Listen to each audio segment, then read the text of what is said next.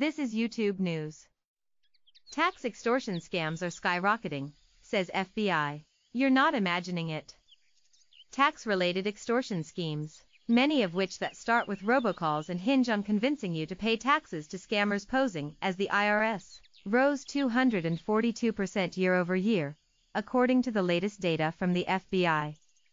The FBI received 51,146 complaints from people who reported losing $83 million to the scams which have become highly automated and fast.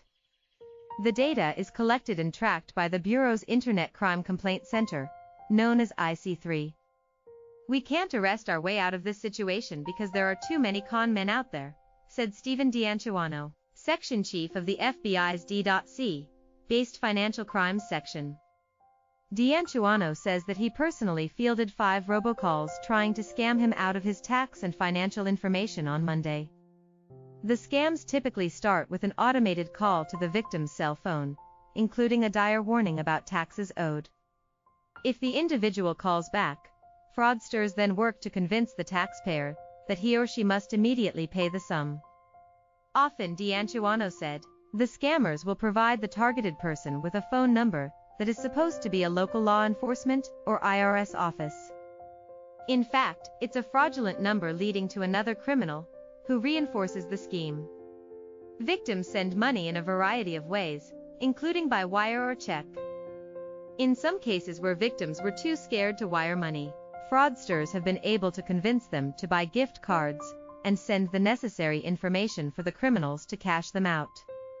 He said some more recent versions of the scheme may also request victims make their payment in Bitcoin or other cryptocurrencies. A criminal can net a few thousand dollars in a single, successful theft, he said, and they have gotten very, very aggressive of late. We've heard a lot of reports of threats that they're going to come to victim's house, they're going to arrest them.